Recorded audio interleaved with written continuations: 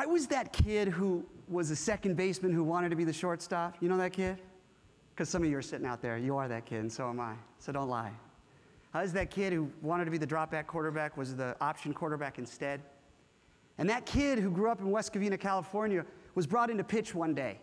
I was playing second base. I was good. I was okay at second. I was a hustler. I, I, I probably exceeded my talent by trying really hard. And the coach, Rick White, a sweet man, he was my English teacher and also the baseball coach, probably better at English teaching. Prep school, they have to do both. Well, I, I got up to pitch because our, our other pitchers were kind of out. And I got up there and I walked four batters in a row. And I didn't throw a strike. Yeah, funny now, not funny then. and uh, my girlfriend in the stand, soon to be ex girlfriend, was there. Yes, funny now, not funny at 17, by the way. It's true, man. I had my hair part in the middle, I had braces. Whew. And I walked four batters in a row, I didn't throw a strike. And Coach Rick White walked out on the mound. And I was embarrassed, I was nervous, I was self conscious. And he looked at me and he said, You know what you need to do? And I said, No, man. I didn't say like that. I wasn't like, No, man. I wasn't wearing slacks and a dress shirt. I said, No. And he looked at me and he goes, You got to throw strikes. So strikes are good? That's awesome. Thank you very much. Very, very powerful, impactful teaching. Thank you very much. So strikes are near the mitt? And then the, okay, great. I wish I would have known that in the first inning. Thank you. I love that I have a pen and paper at 17 on the mound. Uh, and I, I, Rick, Rick, didn't mean anything, Coach White didn't mean anything wrong by that, but we have a, a, tendency to say things like, you got to communicate better. You got to trust each other. You got to be a better team. And as a, as a student, for myself, just those strikes didn't resonate with me. And I will do my best, and Allie and Blair will do our best to engage you as much as we can. And we will do it not by telling you, just those strikes is a tell. And we're not going to do it by showing you, though we will try to show. But I want to take it even to another step. We've got tells, we've got shows, and we will do everything we can in our power to move you. And we'll do it as a team, moving you through humor, moving you through trying to be as sincere as possible, moving you by moving this along. And I will need your help, and I will need your trust, and I will need your commitment, your buy in, and your engagement. Because this kid from West Covina, California is sitting up here, and I'm going to give it my all for the next hour and 45. With that said, if we can bring the house lights up, and I'd like everyone to stand. Thank you. What I'd like to do now is have everyone on the inside, the aisles, just turn to your side because we're going to pair off into twos, and the groups are even. So if you're on an aisle, just turn in and pair off to the person next to you. Okay? We want to have everyone have a partner. You can stay right where you are. So pair off right here inside. Just pair off here, two, two. There's 12 people in each row. Shake hands, that's right. You can relax. Good. So you got partners, pair off. Now, in a second, hold on. Mike and I are going to start this. We're just going to do something very simple. We're going to look at our partner and we're going to count to three. Come on this way, Lucas. Over and over again. Just count to three. And it's gonna, it's gonna, gonna sound and, and look, no one's being graded, by the way. There's no bonuses involved with this, okay? Mike, we're gonna count to three. Here's how it goes. One, two, three, one, two, three, one, two, three, one, two, three, one, two, three, one, two, three. This guy's amazing. He's in accounting. Give him a hand. Good job. All right. What if that was it? Was like, and that's the presentation. Thank you very much.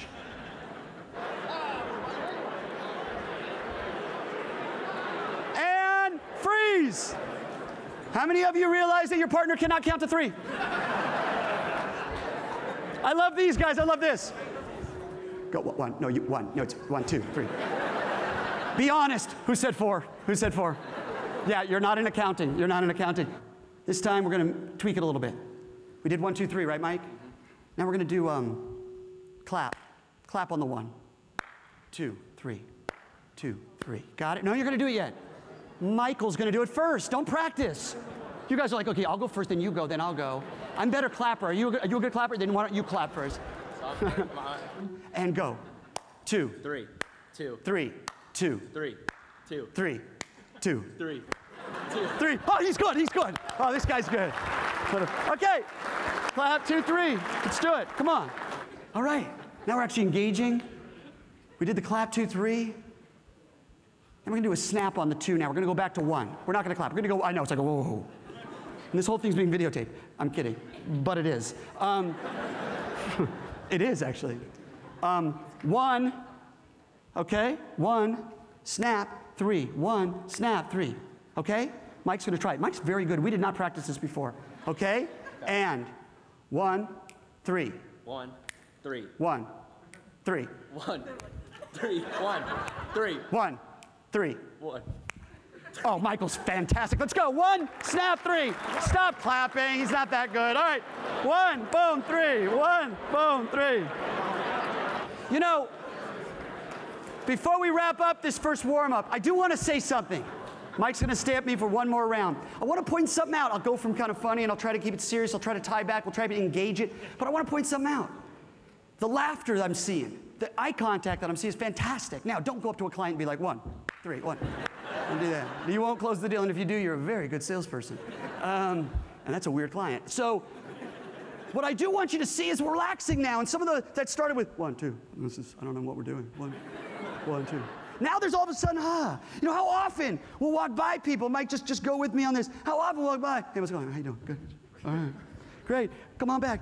You know, this concept of eye contact actually is very important. All right, don't stare too long. You'll be a creepy guy. Okay? But but I want us to relax and engage and laugh with each other and connect.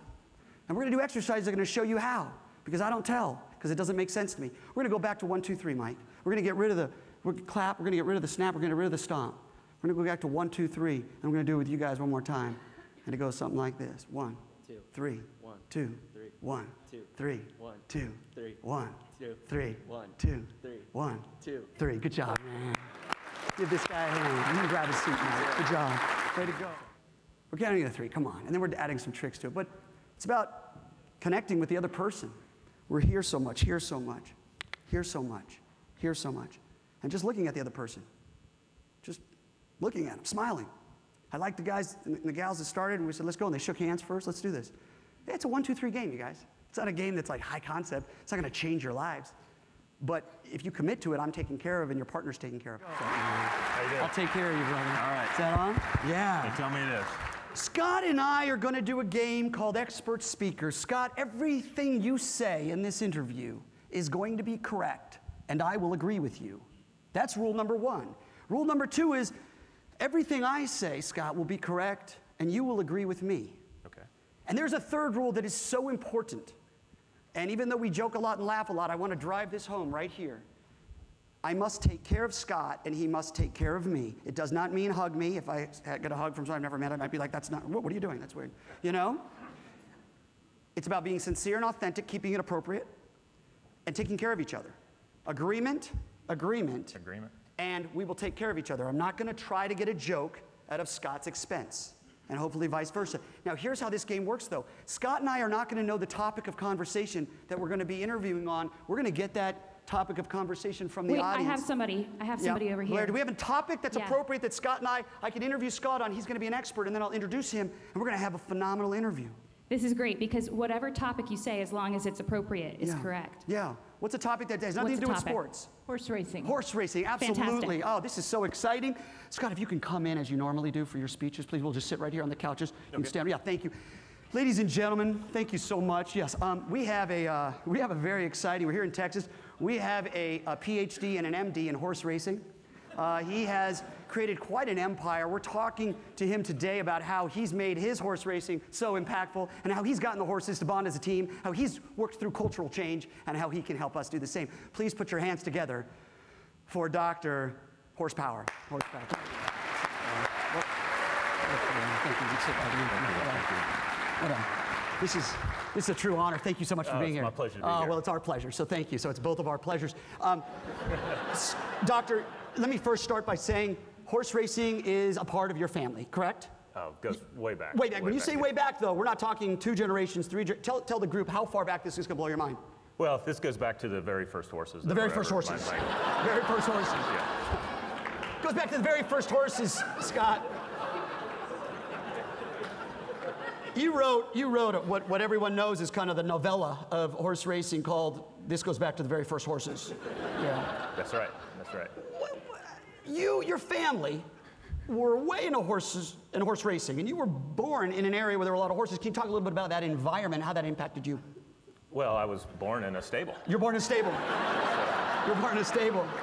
And and a lot of kids in that area would make fun of you. They would, they would make fun of you, but you actually saw it as a real honor to, to be born in the It stable. great. I, absolutely. The horses were my friends from, from the beginning. They raised me, and we really bonded as a team. with You me bonded and, as a team. The horses. You and the horses. You had a way of, this is fascinating, of communicating with those horses at a young age to kind of get them to know what you were thinking and for them to get to know how, how you were thinking and, how, and vice versa. That's right. Can you share maybe a little bit about how you would make those calls to the horses to get their attention? I can do it. I mean, you can make the call. I'll just be, I'll be a horse. Well, the, the fact of the matter is, it was very nonverbal. Nonverbal. That's right. So it's nonverbal, yeah.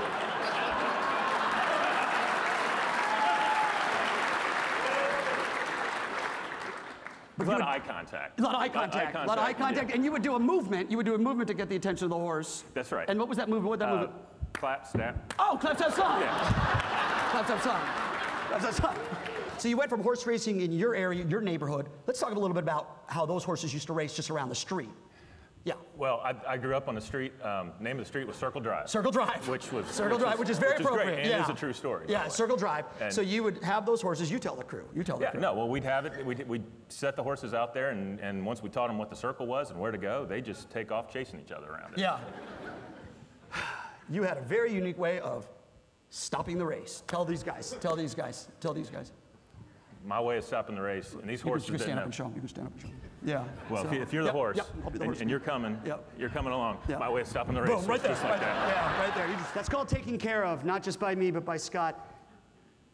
I just took the mic and held it over and said, Have you ever done that before, Scott? And he said, No.